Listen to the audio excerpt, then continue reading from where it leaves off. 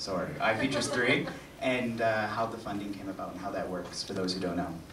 Well, um, as I'm sure lots of the filmmakers in the room will know, making a, a, a film at any stage in your career is incredibly difficult and it's always a real uphill struggle to find the money. Um, and iFeatures in the UK is a really fantastic scheme that gives first-time directors the opportunity to work on a fully funded feature film. So it's highly competitive and I think that there was something like 400 applicants for this round of funding.